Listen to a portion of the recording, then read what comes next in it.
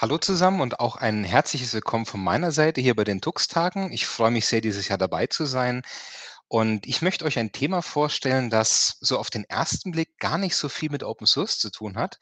Ich möchte nämlich der Frage nachgehen, was denn freie Software, was Open Source mit Kochen zu tun hat, anhand eines ganz konkreten Beispiels. Und vielleicht einführend ein paar Worte zu mir. Mein Hintergrund ist überhaupt nicht im Kochen. Ich äh, bin seit ganz vielen Jahren engagiert für freie Software. Ich bin Geschäftsführer der Document Foundation, der Stiftung hinter LibreOffice, bin eines der Gründungsmitglieder der technische Hintergrund bei mir liegt im Bereich Infrastruktur. Ich habe viele Marketing gearbeitet und der Grund, warum wir uns heute hier hören, ist, dass ich geholfen habe, die Münchner Open Source Treffen aus der Taufe zu heben und in deren Rahmen ist die Idee des Open Source Kochens entstanden. Und ich möchte euch jetzt zuerst mal diese Veranstaltung vorstellen, die wir vor vielen Jahren ins Leben gerufen haben, dann erklären, wie man denn aus so einer normalen User Group eine, eine Kochveranstaltung machen kann. Die Münchner Open-Source-Treffen gibt es, wie man sieht, seit vielen Jahren. Und damals war die Situation in München so, dass es ganz viele projektbezogene Treffen gab. Es gab Stammtische für jedes einzelne Projekt, aber es gab zumindest gefühlt nichts, was alle Projekte zusammenbringen sollte. Und das wollten ein Kollege und ich ändern und haben dann 2009 die Open-Source-Treffen ins Leben gerufen. Der Gedanke und das Motto dahinter ist jeder vierte Freitag im Monat für freie Software. Und wir waren am Anfang so ein bisschen größenwahnsinnig und wollten das als deutschlandweite Veranstaltung etablieren. Es gab ein oder zwei Events außerhalb Münchens, aber das hat nicht funktioniert. Dafür haben wir uns eigentlich mittlerweile als feste Größe in München etabliert. Und die Idee ist eben, eine Veranstaltung ins Leben zu rufen, die Projekte, Nutzer, Communities zusammenbringt, ganz unabhängig von welchem Projekt die Leute kommen. Also kein spezifischer Stammtisch für ein spezielles Projekt, sondern einfach eine Möglichkeit für Leute im Bereich Open Source sich zu treffen. Also eine Veranstaltung für viele Projekte. Im Prinzip eine, eine typische lokale User Group, wenn man so möchte. Das hat sich entwickelt, das hat sich etabliert und wir hatten ganz, ganz viel Glück, als wir das ins Leben gerufen haben. Denn zum einen, ich komme ein bisschen südlich von München und da sind einfach deutlich weniger Leute. München als große Stadt hat natürlich ein ganz anderes und ein viel größeres Publikum. Leute pendeln zur Arbeit oder damals pendelten sie dorthin. Das sieht ja heute alles so ein bisschen anders aus. Das heißt, wir hatten da schon einen Treffpunkt für ganz, ganz viele Leute. Der Vorteil, zumindest früher, mittlerweile hat sich die Location geändert. Wir waren verkehrstechnisch sehr gut angebunden. Wir waren in fünf Minuten Laufweite zum Hauptbahnhof. Wir hatten eine sehr gute Anbindung an den Nahverkehr. Man konnte also da wirklich ganz spontan und ganz problemlos hingehen. Wir haben das Ganze ganz bewusst nicht am Wochenende veranstaltet, damit die Leute eben ungestörtes, ruhiges Wochenende haben, sondern Freitag so von 18 bis 21, 22, manchmal auch 23 Uhr. Das heißt, bequem nach der Arbeit als Auftakt ins Wochenende. Wir haben aber nicht Zeit von der Familie geklaut oder Zeit für andere Aktivitäten, sondern das so quasi vors Wochenende noch dran geflanscht. Das war, glaube ich, eine ganz gute Entscheidung damals. Eintritt war komplett frei. Es gab keine Pflicht, sich anzumelden. Wir hatten mit der Örtlichkeit, sage ich auch gleich noch zwei der Worte dazu, die gute Gelegenheit. Da gab es also keinen Verzehrzwang, wie das in manchen Gaststätten der Fall ist, sondern es gab sehr, sehr günstig, eigentlich zum Selbstkostenpreis, Getränke und Speisen. Wir hatten alles, was man so gebraucht hat. Viel Platz, ein Beamer, WLAN, all die Dinge, die wichtig waren. Und eben, da werden wir gleich noch dazu kommen, eine Küche. Und das hat sich im Laufe der Jahre gut entwickelt. Äh, wir haben das ähm, und machen das immer noch im Kaffee-Netzwerk. Das ist eine Einrichtung des Kreisjugendrings. Und diese Einrichtung hat den Schwerpunkt im Bereich Medienpädagogik. Hat also für unsere Zwecke, Leuten die Idee von freier Software näher zu bringen, wirklich gut gepasst. Und das Kaffee-Netzwerk hat in den vergangenen Jahren und auch weiterhin unterstützt viele weitere Projekte. Es gab unter anderem Workshops zum Raspberry Pi. Es gibt dort ähm, die Münchner YouTube-Treffen. Es weiß nicht, ob es die noch gibt, aber es gab zumindest Wikipedia-Treffen, auch die FSFE hat sich dort getroffen. Das heißt, da war schon so ein gewisser Schwerpunkt auf IT, Open Source, dieser, dieser ganze Bereich. Wir waren da also in sehr guter Gesellschaft. Und das hat uns sehr geholfen, diese Veranstaltung erfolgreich ins Leben zu rufen. Wir hatten nicht geplant, lange Vorträge zu halten. Es war ja Freitagabend und die Leute wollten ins Wochenende und die Aufnahmekapazität ist dann auch begrenzt, sondern es waren ein bis zwei Kurzvorträge mit jeweils 20 Minuten, sodass also im im schlimmsten Fall in Anführungszeichen 40, 45 Minuten Vortragszeit eingeplant war. Der Rest des Abends war quasi zur freien Verfügung. Wir haben relativ schnell eine Zielgruppe von 20, 30 Teilnehmern aufgebaut, die da regelmäßig teilgenommen hat und hatten ganz viele wiederkehrende Besucher. Und wie man unten an der Liste sieht, ich lese es jetzt nicht alles vor, aber man sieht es ja auf der Folie, ein sehr breites Themenspektrum. Also viele äh, fachliche Themen, aber auch allgemeinere Themen für verschiedenste Zielgruppen, sodass eigentlich für jeden mal was dabei war. Und das hat sich sehr gut entwickelt. Wie gesagt, wir hatten regelmäßige Besucher, immer wiederkehrende Besucher. Es gab so 'n so 'n festen Kern, der sich dort dann einmal im Monat getroffen hat. Und wir haben das Ganze dann weiterentwickelt, denn in ein, 2 Kurzvorträgen kann ich Wissen natürlich nur begrenzt weitergeben. Wir haben neben den monatlichen Open-Source-Treffen in unregelmäßigen Abständen die Open-Source-Workshops ins Leben gerufen. Das waren dann ergänzende Workshops zu sehr konkreten Themen, die dann halber bis ganzer Tag am Wochenende, Samstag in der Regel waren. Und, äh, der Teilnehmerkreis dort waren mindestens 10, maximal 25 Teilnehmer, glaube ich. Dass wir also 'n gewisses äh, 'ne 'ne gewisse, hm, Anwenderbasis hatten, die teilnehmen wollte, damit sich der Workshop auch lohnt, aber nicht zu groß, damit wir auch wirklich in Gruppen arbeiten können. Auch die Workshops waren kostenfrei. Es gab Material und es gab zum Teil wirklich gute Handouts. Wir haben aber in dem Fall natürlich um Anmeldung gebeten, um planen zu können, lohnt sich denn dieser Workshop? Und das hat sich auch sehr, sehr gut etabliert, hat wirklich gut funktioniert. Und dann sind wir irgendwann auf die Idee gekommen, wir könnten doch noch 'ne andere Veranstaltung machen und sind auf die Idee des Open-Source-Kochens gekommen. Zunächst der Name, wir hatten Open-Source-Treffen, wir hatten Open-Source Open-Source-Workshops, lag also auf der Hand, wir nennen das Ding einfach Open-Source-Kochen. Und muss zugeben, haben uns dann im Nachhinein erst Gedanken gemacht, was denn diese Veranstaltung, die wir da jetzt ins Leben gerufen haben, eigentlich mit Open Source gemeinsam hat. Und da kam raus wahnsinnig viel. Das möchte ich euch im Folgenden bisschen erklären. Zunächst mal, wie ist das entstanden? Es war vermutlich ein etwas längerer Abend. Es gab irgendwie 1, 2 Bier und wir saßen da so zusammen und guckten in die Runde, diese 20, 30 Leute, die da saßen. Und die Veranstaltung oder der Veranstaltungsort hatten eben eine Küche, weil die tagsüber auch die Jugendlichen dort verköstigt haben.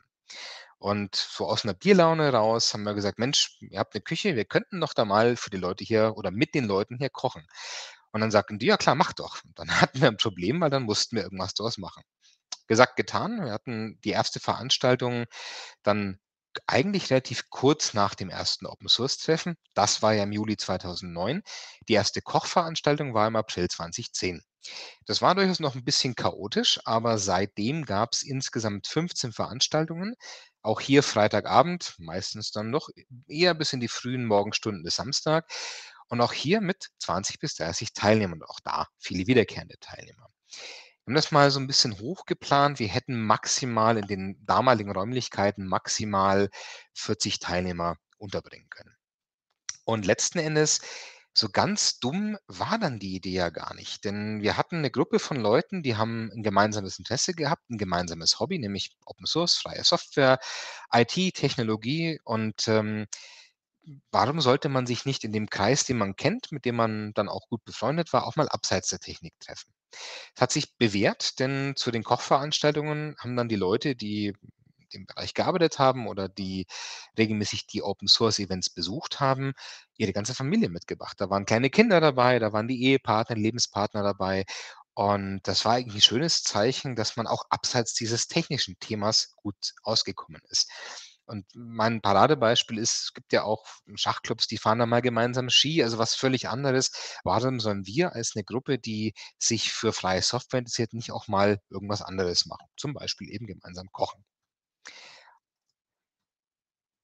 Und ich habe schon gesagt, die im Nachhinein haben wir uns dann eigentlich überlegt: „Was hat denn das so mit diesem Open-Source-Prinzip zu tun?“ Das ist 'ne ganze Menge. Zum einen, in jedem Open-Source-Projekt kann ich nur erfolgreich sein, wenn die Leute, die dort tätig sind, gemeinsam und aus Spaß an der Sache arbeiten. Und so ist es bei uns auch. Keiner hat Bock, an 'nem Freitagabend da 30 Leute zu verköstigen. Das muss schon irgendwo Spaß machen. Das war also die 1. Voraussetzung. Dann natürlich haben wir uns als 'ne Gemeinschaft verstanden, wie man das neudeutsch so schön nennt, eine Community, nämlich die Gruppe, die hier grade gemeinsam kochen möchte. Was wir auch in vielen Open-Source-Projekten haben, ist, dass ich grade am Anfang, wenn das noch am Wachsen ist, natürlich gewisse ähm, ja, 'ne gewisse Neugier brauche. Ich brauche so 'n bisschen Verrücktheit vielleicht, 'ne gewisse Experimentierfreude. Ähm, also 'n gewisser Wahnsinn gehört dazu, um das überhaupt ins Leben zu rufen und so war's bei uns letzten Endes auch, denn wir mussten ja auch irgendwie, ähm, diese ganze Idee vorantreiben und, äh, das, äh, ja, auf 'n Weg bringen und natürlich gehört da so 'n gewisser Wahnsinn dazu, für 30 Leute zu kochen, vor allem dann, wenn man's eigentlich gar nicht gut kann. Kommen wir gleich noch dazu. Und natürlich haben wir wahnsinnig viele Fehler gemacht am Anfang. Das Wichtige ist, wie in jedem Open-Source-Projekt, man muss draus lernen, das Wissen dann weitergeben, damit man selber und auch die anderen diese Fehler nicht wiederholen. Das war das ganz Wichtige und das haben wir auch gemacht. Es geht los beim Einkaufen für die Veranstaltung. Was muss ich denn einkaufen? Ähm, wie plane ich das denn? Äh, was brauche ich für die Dekoration? Und, und, und. Haben wir ganz viele Fehler gemacht und haben uns immer wieder verbessert und haben dieses Wissen auch weitergegeben. Dann ist es bei Weitem nicht so, dass bei uns jeder kochen kann oder jeder irgendwie für 30 Leute das planen kann. Jeder hat so 'n eigenes Talent, hat so sein, äh, ja, spezifisches Set an Skills, an Erfahrungen und das ist im Open-Source-Projekt auch so. Es gibt Entwickler, es gibt Designer, es gibt Leute, die machen Dokumentation, es gibt Übersetzer, Infrastruktur und, und, und. Und jeder muss eigentlich dort arbeiten, wo er sich am wohlsten fühlt und das machen, was er am besten kann. Und so ist es bei uns auch. Der eine kann das super durchplanen, der andere steht besser am Herd und eben zu finden, wer kann denn was ganz gut und wo sind so die die Skills der Leute, das war eine der Herausforderungen, die wir gemein mit vielen anderen Open-Source-Projekten haben. Dann ist es so, wir wollen ja nicht immer die gleichen Leute da haben, die dann alle verköstigen. Wir wollen ja Beitragende haben, Leute, die wirklich mitmachen. Und dazu müssen wir natürlich für diese Idee auch andere motivieren, sich einzubringen. Das ist in jedem Open-Source-Projekt so. 'N Einzelner kann schon was reißen, aber ich brauche ganz, ganz viele Leute, die beitragen. Und das geht nur dann, wenn ich andere motiviere, sich da auch einzubringen. Dann natürlich kann sich jeder vorstellen, für 30 Leute kochen, da brauche ich schon Koordination. Die ist immer irgendwie chaotisch. Das ist so auch in ganz vielen Open-Source-Projekten. Irgendwie funktioniert's dann immer, aber 'ne gewisse Koordination brauche ich einfach.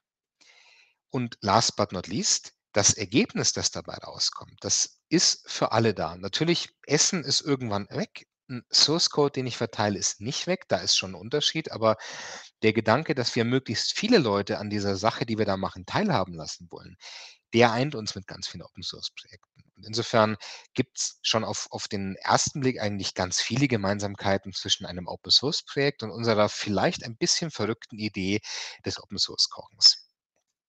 Wie haben wir das gemacht? Für die Veranstaltung hier gab's am Anfang einen Call for Papers. Reicht seinen Vortrag ein, man macht 'n Vorschlag, man sagt, wie viel Zeit man braucht, über was man sprechen möchte. Wir haben analog einen Call for Recipes gestartet. Das heißt, wir haben die Leute gebeten: „Sagt doch mal, was ihr kochen möchtet und am besten schickt uns 'n Rezept dazu. Und am besten, wenn ihr helfen könnt, sagt uns Bescheid.“ Heißt, wir haben das über Mailinglisten, Social Media und diverse Kanäle gemacht. Uns war aber wichtig, da jetzt nicht irgendwie nur 'ne Pizza in die Mikrowelle zu schieben, sondern wirklich was Gutes zu kochen. Und da kamen ganz, ganz interessante Sachen bei raus. Ihr seht's hier auf den Folien. Wir hatten japanisches Essen, mexikanisches Essen, ungarisch, indisch und vieles mehr. Und das häufig auch mit der Unterstützung von Leuten, die aus diesen Ländern stammen, die also die Küche kennen. Wirklich, ähm, Locals, Einheimische, die uns da helfen konnten, uns erzählen konnten, wie man das richtig macht oder was man dort isst. Dann, genauso wie in 'nem Open-Source-Projekt, war uns wichtig, dass jeder mitmachen kann, dass es also ganz niedrige Einstiegshürden gibt. Und beim Essen ist es so, es gibt Leute, die mögen bestimmte Dinge nicht, die vertragen bestimmte Dinge nicht und all das wollten wir auch berücksichtigen. Also Veganer, Vegetarier, Allergiker oder auch einfach Leute, die bestimmte Dinge nicht mögen. Und das kann man entweder dadurch tun, dass man ein Gericht findet, das für alle passt, oder ich habe eben mehrere Optionen. Und das war uns auch ganz, ganz wichtig, dass wir da nicht nur irgendwie Schweinebraten mit viel Soße machen, sondern eben auch vernünftige Sachen anbieten für Leute, die das vielleicht nicht mögen oder nicht essen können.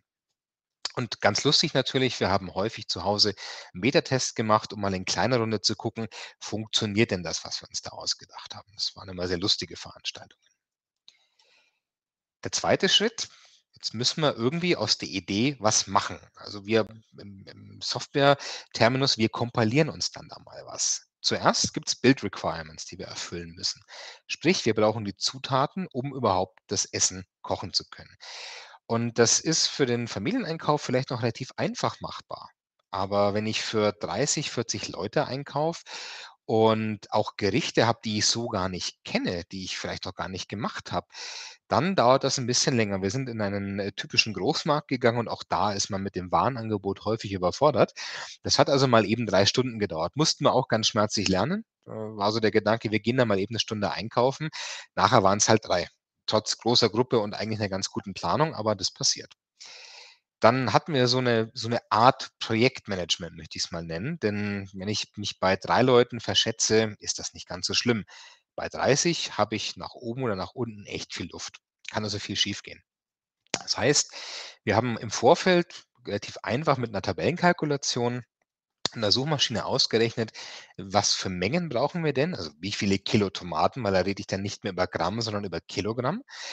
Und was kostet das alles? Denn der Gedanke war, keiner will hier irgendwie Geld verdienen. Wir legen die Kosten fair auf alle um und sind dann letzten Endes zwischen 5 und 15 € pro Person rausgekommen, inklusive Getränke mit 3 Gängen, mit allem Drum und Dran. Und das ist natürlich deutlich günstiger als in einem guten Restaurant. Der nächste Schritt ist, ja, ich würde es Release Engineering nennen. Wir müssen dann aus dem, was wir eingekauft haben, ja auch wirklich was machen. Und ich brauche zum einen Leute, die setzen sich sprichwörtlich den Kochhut für jeden Gang auf. Die müssen nicht alles selber machen, aber es muss einen geben, der macht die Ansage: „Wie mache ich die Vorspeise?“ Es muss einen geben, der macht die Ansage: „Wie mache ich das Hauptgericht?“ und so weiter. Und dann kochen wir zusammen. Und auch da haben wir viele Herausforderungen festgestellt, die wir in jedem Open-Source-Projekt auch haben. Zum einen, ich brauche Multiplikatoren. Es gibt eben nur einige wenige, die gut kochen können. Der Großteil der Leute, die da dabei waren, der kann's gar nicht oder kann sich bestenfalls selbst verköstigen, kann aber keinesfalls für 30 Leute kochen. Also muss es Leute geben, die Wissen weitergeben, die Leute an die Hand nehmen und die dafür sorgen, dass auch wirklich was Leckeres aufm Teller landet. Dann sind wir in so 'ne Art Infrastrukturskalierungsproblem reingelaufen, denn der Herd, wir sehen's nachher noch, der hat halt 4 Platten. Wenn ich da jetzt 6 Töpfe draufstellen möchte, wird das wahnsinnig schwer. Also, auch da muss ich irgendwie kreative Lösungen finden. Und dazu gehört, ich muss parallel arbeiten. Wir haben man sieht ja so 'n paar Beispiele, 18 Kilo Tomaten für 'ne Tomatensuppe, 100 Eier, Wein in meinem Sixpack und so weiter. Das muss ich parallel bearbeiten. Ich kann nicht nacheinander das machen. Ich muss da 'n System finden, damit dann auch irgendwann mein Essen rauskommt. Zeitbasiertes Release-Modell bei uns war dann doch eher schwierig, weil bestenfalls gab's den Hauptgang irgendwie um 9:30. Wir hatten's auch mal nachts um 1:30 passiert. Muss man mit rechnen, ist so, aber war trotzdem lustig. Und eins eint uns, glaube ich, auch mit ganz vielen Open-Source-Projekten: Die Dokumentation war zum Teil schon verbesserungswürdig, denn wir müssten immer noch mal so 'n paar Rezepte online stellen. Das hinkt also hinterher und ich glaube, das ist nur fair zu sagen, dass das manchem Open-Source-Projekt auch so geht. Also, haben wir da sehr ähnliche Erfahrungen gemacht. Ja, danach dann wurd's schwierig, denn die Leute haben gegessen, haben getrunken, waren müde und dann ging's aber ans Abspülen. Da muss die Küche gereinigt werden, die Maschinen und, und, und. Das war dann schon deutlich schwieriger. Auf einmal mussten alle ganz dringend nach Haus, weil der letzte Zug fährt. Also, da mussten wir so 'n bisschen kreativ sein, um dann auch noch aufräumen zu können. Und was wir festgestellt haben, egal wie wir planen, man kauft immer so 'n bisschen zu viel ein. Das Auge ist dann doch größer als der Mund. Und wir hatten dann überlegt: „Was machen wir jetzt mit dem übrig gebliebenen Essen?“ Wegwerfen ist eigentlich viel zu schade. Ähm, den Leuten mitgeben, die ohnehin grade schon sich den Bauch vollgeschlagen haben, kann ich machen. Aber wir sind auf die Idee gekommen, das einer karitativen Einrichtung zu spenden. Die haben sich wahnsinnig gefreut und wir sind dann dazu übergegangen, ganz bewusst mehr zu kaufen. Das macht dann letzten Endes so 'n Euro pro Person mehr. Und wir hatten dadurch die Möglichkeit, garantiert nach jedem Kochen einer karitativen Einrichtung Essen zu geben, das sie dann wirklich Bedürftigen mitgeben konnten. Das war für uns ganz wichtig, weil wir hatten 'n tollen Abend, wir haben's uns gut gehen lassen und konnten mit ganz, ganz wenig Aufwand Leuten, denen's eben grade nicht so gut geht, auch 'ne schöne Zeit bescheren. Das ist super gut angekommen und, ähm, war in der Planung kein großer Mehraufwand, 1 € mehr, aber wir konnten jemandem wirklich was Gutes tun. Wir haben natürlich noch so 'ne Art Featureliste mit weiteren, vielleicht 'n bisschen verrückten Ideen. Wir wollten das Ganze auch mal außerhalb von München machen. Sobald's aus Deutschland rausgeht, wird's deutlich schwieriger. Da gibt's dann 1.000 Regeln. Also, gibt's hier auch schon, aber es wird nicht einfacher im Ausland. Ähm, wir hatten Anfragen in der Tat von Fernsehsendern, die dann so nach Leuten, die kochen, äh, gesucht haben. War auch ganz lustig. Hatten schon mal überlegt, ob wir die Idee da weiterverbreiten sollen. Ähm, dann gibt es einen, äh, riesigen Kürbis, in dem kann man, glaube ich, wohnen, in diesen Großmärkten. Der kostet 700 €. Wir hatten uns ernsthaft überlegt, ob wir 'ne Möglichkeit haben, den sinnvoll zu verarbeiten, haben aber noch nichts gefunden. Und 'n bisschen ernster, an das äh, angeknüpft mit der karitativen Einrichtung, die überlegen, ob wir nicht mal 'ne Möglichkeit finden, 1 € oder 50 für jeden Euro Umsatz, den wir bei dem Händler machen, als Spende für Bedürftige zu bekommen. Das ist noch so 'ne Überlegung, ob die Händler da mitmachen, 'n gewissen Teil dessen, was wir dort einkaufen, als Spende an eine gemeinnützige Einrichtung zu geben. Das ist, äh, noch etwas, an dem wir arbeiten wollen. Ein Punkt möchte ich nicht verschweigen, denn die letzte Veranstaltung, das hat mit der Pandemie nur bedingt zu tun, war leider vor einigen Jahren. Es hat also lange sehr gut geklappt, aber dann nicht mehr. Und auch das ist etwas, was ja viele Open-Source-Projekte erleben, dass ich so 'ne Art Long-Term Maintenance, 'ne Nachhaltigkeit in der ganzen Geschichte brauche. Und woran liegt's? Nicht daran, dass die Leute irgendwie keinen Bock mehr haben, sondern viele der damals Involvierten, die sind einfach nicht mehr da, die haben keine Zeit mehr. Das sind geänderte Lebensumstände. Leute haben 'nen Job, gründen 'ne Familie, ziehen um, haben andere Hobbys und dann leidet das halt. Und wenn man es nicht schafft, rechtzeitig Nachwuchs zu bekommen, Leute zu finden, die wieder sprichwörtlich den Kochhut aufhaben, dann wird's halt schwierig. Und insofern muss eigentlich jedes Open-Source-Projekt und auch so unsere kleine verrückte Idee mit dem Kochen nachhaltig angelegt werden und das, was man gemeinhin als Push-Faktor bezeichnet, vermieden werden. Es sollte also immer viele Leute geben, die etwas tun können, viele Leute, die 'ne Aufgabe übernehmen können. Das Wissen muss weitergegeben werden und auch das eint uns letzten Endes wieder mit ganz, ganz vielen Open-Source-Projekten. Jetzt möchte ich von der grauen Theorie noch ein bisschen in die Praxis kommen und ein paar Fotos zeigen und passend zur Uhrzeit, äh, kurz vorm Abendbrot, äh, hoffe ich, dass mir keiner böse ist, wenn ich euch noch ein bisschen hungrig mache. Das sind also live und ungefiltert, wie man so schön sagt, Fotos aus den Kochveranstaltungen, die wir gemacht haben. Und ich werde jeweils noch 'n paar Worte dazu sagen.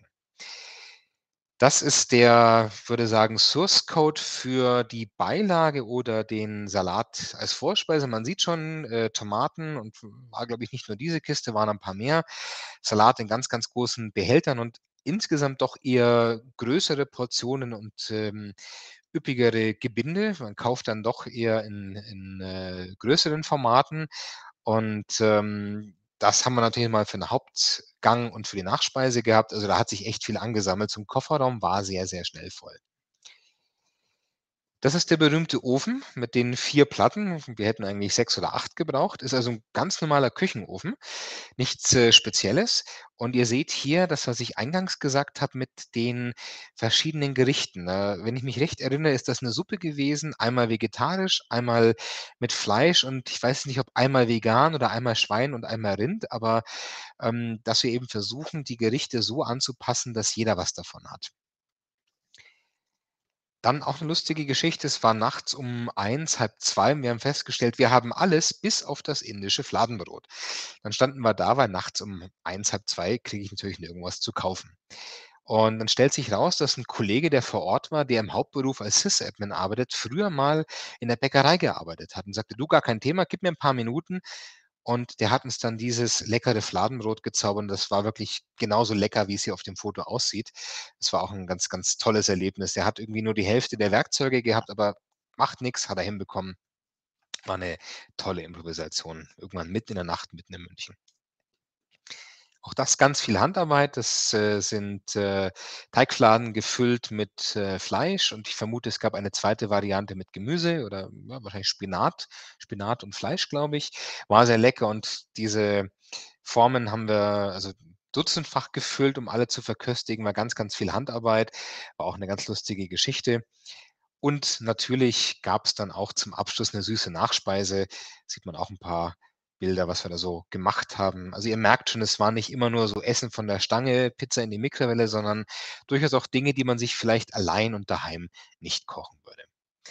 Ja, und jetzt hoffe ich, ich habe euch so 'n bisschen Hunger gemacht, denn der Plan ist in der Tat, dass wir nach der, Pandemie hoffentlich solche Veranstaltungen wieder durchführen können. Und, äh, wer Lust hat, noch 'n bisschen mehr zu lesen, bei mir im Blog gibt's 'n Artikel zu dem Thema, gibt's noch mehr Fotos dazu, ähm, gibt auch 'n Link auf einen Zeitschriftenartikel dazu und ja, wir möchten da gerne wieder mehr machen in der Zukunft, wenn's denn die Zeit, äh, und auch die Situation draußen ermöglicht. Hat sehr viel Spaß gemacht und, äh, ich bedanke mich für die Aufmerksamkeit und, äh, soweit ich weiß, gibt's jetzt auch noch die Möglichkeit für eine Fragerunde, äh, einen einen Chat hier in in Jitsi, bei dem wir uns unterhalten können, bei dem ich auch gerne noch 'n paar Fragen beantworte und ansonsten auch gerne einfach 'ne Mail schicken.